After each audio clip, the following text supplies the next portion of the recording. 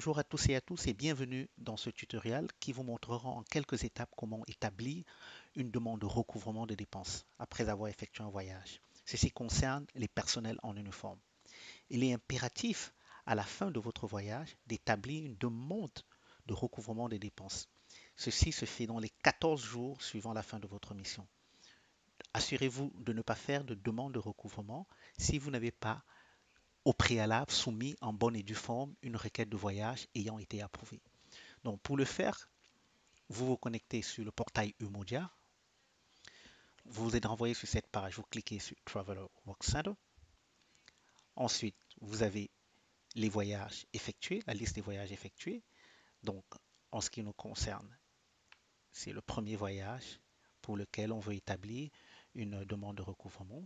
Donc, on clique dessus après l'avoir identifié et Create Expense Reports. Une fois qu'on est sur cette page, on a encore tous les voyages, les demandes de voyage effectuées jusque-là. Donc, assurez-vous que vous ne choisissez pas cette option Stand-alone Expense Report. Donc, vous devrez toujours sélectionner le voyage pour lequel vous voulez faire une demande. Ensuite, cliquez Start. Vous êtes renvoyé sur cette page. Assurez que vous pouvez lire les détails relatifs au per diem et les données qui sont nécessaires à votre compréhension et information. Une fois que sur cette page, vous descendez et vous sélectionnez selon les besoins de la cause, oui ou non à toutes les questions posées. Donc, dans ce cas pratique, nous allons sélectionner non, non, et nous sélectionnons également ici la méthode de paiement, comment on voudrait recouvrir les fonds pour lesquels on est en train de faire la demande, par le système de paye mensuel par un système bancaire ou un autre type de paiement. Ne sélectionnez pas Conference Pay Master parce que ce mode de paiement est applicable essentiellement aux conférenciers.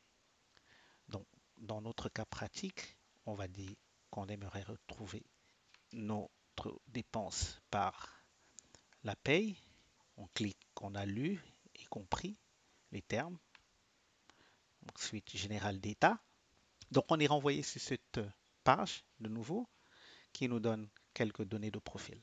On peut décider euh, maintenant de remodifier les données qu'on avait remplies au préalable, par, par exemple la raison pour laquelle on voyage ou le type de voyage. Si jamais on a décidé au départ de faire un voyage en aller-retour et à la fin, euh, le voyage pratique qui a été effectué a été fait en aller simple.